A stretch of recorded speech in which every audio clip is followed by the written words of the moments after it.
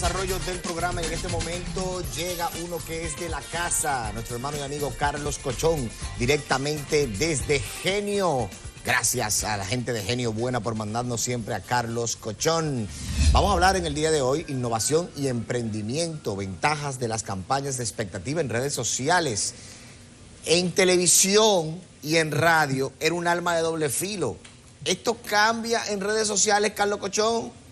Bueno, gracias Lechu. Muy buenas tardes, noches para, todos. La verdad es que las campañas de expectativa son, eh, no son un asunto nuevo, es una, es una arma interesante que ha utilizado la publicidad desde hace ya mucho tiempo, pero el, cuando tú agregas las redes sociales como un combustible para las campañas de expectativa, como un canal, eh, pueden suceder cosas interesantes, más que nada por el potencial que tú tienes, uno, de crear base de datos, o sea, de tú eh, ganar seguidores o hacer publicidad pagada para tener suscriptores o prospectos que puedan irse interesando en algo que no ha sucedido todavía o en un producto que no ha salido al mercado aún, eh, crear un poco de ruido, crear curiosidad y claro, el detalle de que como puedes aprender mucho con las redes sociales, también ese aprendizaje te puede ayudar, digamos, a testear el impacto, la factibilidad de eso que tú vas a hacer. O sea, la fórmula clásica de la campaña de expectativa es no decirlo todo de golpe, pero en este caso, si tú juegas un poco con la curiosidad y con revelar por dónde van las cosas, puedes tener un aprendizaje muy útil para lo que va a ser el, lanzamiento oficial o el producto final. Tú sabes que eh, eh, eh, las, la, publicidad va a, años luz, va a millón. Sí, sí. Y al igual que las redes sociales. Te hice la pregunta porque yo recuerdo que antes, cuando se hacían, eh, eh, eh, cuando se sentaba una agencia para realizar una campaña, la primera pregunta que llegaba era, ¿hacemos campaña de expectativa? porque era como que, uh, yo conozco productos que eran 1A, que por una campaña de expectativa fueron un fracaso, pero conozco productos que son, que eran de nada, productos sumamente simples, que se convirtieron en éxitos gracias a una campaña de expectativa.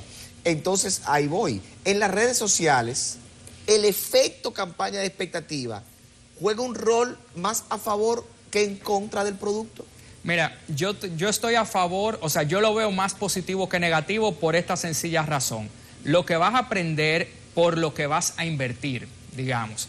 En esos casos, que hay muchísimos, hay, para no decir miles, hay cientos de casos. YouTube, usted pone ahora campaña de expectativa y le debe salir de todo pero, pero incluso deben salir muchas campañas eh, de expectativa desastrosas, por así decirlo, que fallaron.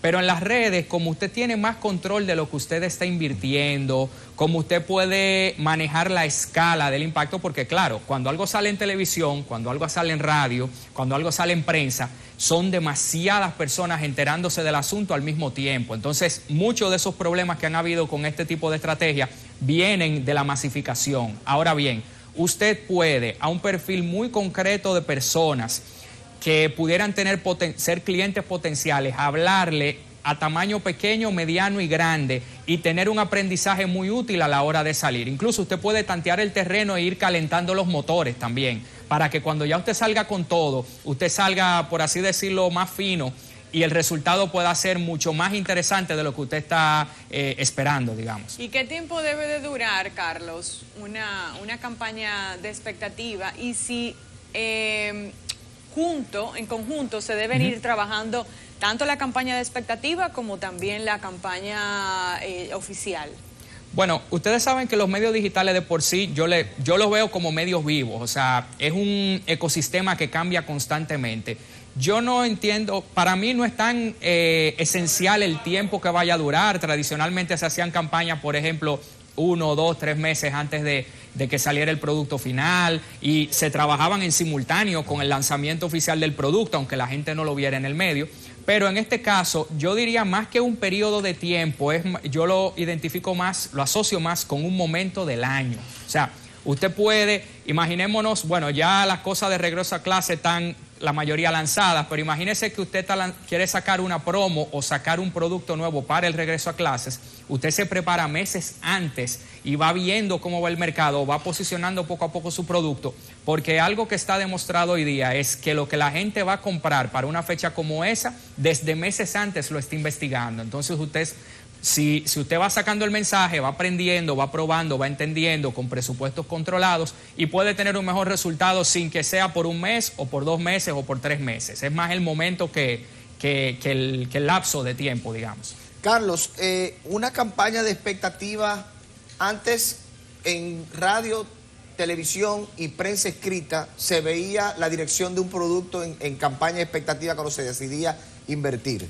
Ahora en redes sociales eh, vemos que las cosas van muy rápido y todo el mundo tiene dominio de ellas. Sí.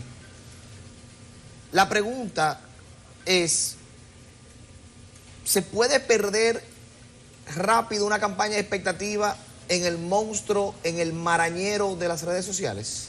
Sí, esa pregunta está buenísima porque evidentemente el volumen y velocidad con que se mueven los contenidos en redes, la conversación digital, hace que para que tu mensaje pueda posicionarse tú tengas que ser muy eh, tú tengas que ser consistente para no hablar necesariamente de tener grandes presupuestos. O sea, tú tienes que entender bien a quién tú le vas a hablar, porque en ese mar de personas hay gente que te conviene como cliente y hay gente que quizás no es la que tú debas atacar primero. Entonces, tú sí tienes que tener un mensaje claro, tú tienes que entender por dónde vas a salir, porque en ese mar de personas y en ese mar de medios, quienes tú quieres que te compren tienen medios que consumen más que otros y mantenerte ahí, ahí, ahí. La misma la misma data, o sea, la misma analítica que genera el mensaje, te va a ir dando a entender qué cosas de las que tú estás diciendo le hacen más sentido a tu público y se pueden asociar con el producto o servicio que tú estás esperando a lanzar. O sea, son cosas, vamos, es el mismo tipo de iniciativa, pero hay tantas variables interesantes que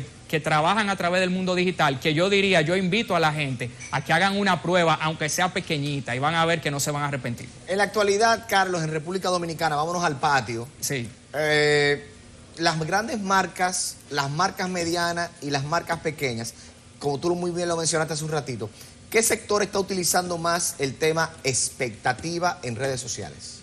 Bueno, mira, yo te diría que yo te diría que las, eh, las multinacionales de retail, o sea, que son de consumo minorista, de cosas que, que la decisión de compra no es muy pensada, pero al mismo tiempo que vienen con con una confianza, con una valentía y quizás con presupuestos preaprobados a nivel regional, esas son las que vemos con más frecuencia haciendo expectativas. Pero vamos, el segmento, cosas, o sea, la idea de, hablar de, de, expectativa en este espacio es animar a la gente a probar. No tenemos que tener toda la rueda armada para hacerla. No es tan peligroso como parece o como, le ha, como ha sido para otras marcas en el pasado. Pero aquí yo creo que en cuanto a aprendizaje del consumidor, en cuanto a preparar el terreno para lo que tú vas a lanzar y en cuanto a tú, digamos, pivotear, a tú saber si lo que tú vas a sacar vale la pena o no vale la pena, es bueno intentarlo, porque en el peor de los casos, si te va mal, te ahorras, te puedes ahorrar decenas, cientos o hasta millones de pesos en sacar algo que definitivamente a la gente no le va a llamar la atención. Es muy poco el riesgo y mucho el beneficio. Tú sabes que Carlos me ha dado el botoncito a mí hoy eh, del tema de la publicidad, el tema de la expectativa algo que, de verdad me, apasiona mucho. Y, ahí nace, la, tengo millones de preguntas de verdad y para seguir la conversación. Qué bueno, qué bueno. Y entonces te hago la siguiente. Eh, estamos viendo un mercado que todas las agencias y, las grandes marcas, como tú muy explicaste, presupuestos aprobados a través de regionales. Sí, claro. Están dirigiendo su contenido al digital. Sí. Eh, están muchas mudándose, cero prensa escrita, cero hasta televisión y cero radio. Sí. Entonces, ahí, ahí, ahí, voy de nuevo con, con esta. Se ha visto en la actualidad, con estos grandes presupuestos aprobados, vamos a lanzar una expectativa a nivel digital de marcas que no han logrado el éxito con ese producto? Bueno, mira, con los medios tradicionales está pasando algo muy interesante y es que, que la, la experiencia de consumo se está volviendo híbrida. Por eso vemos que, por ejemplo, una plataforma tan fuerte como CDN desde hace años está en su, digamos, en sus canales tradicionales, pero te tiene streaming, te tiene eh, el Instagram, todo lo demás. Vemos programas de radio. Tú como, como, como hombre de radio sabes que la forma de hacer radio de hoy no es la misma de hace cuatro o cinco años, para no irnos tan lejos. O sea, la gente quiere ver al, al locutor por video, la gente quiere interactuar con el contenido en vivo a través de las redes y en cuanto a inversión en medios y sobre todo al presente y futuro de de los medios en sí, la subsistencia y, el, y, la rentabilidad de los medios tradicionales en sí. Se trata mucho de entender cómo la gente está consumiendo y de darle a la gente experiencias diferentes e, y más interactivas de consumir. O sea que sí, yo entiendo que aunque se habla mucho de las redes y de la costo eficiencia y de todo esto,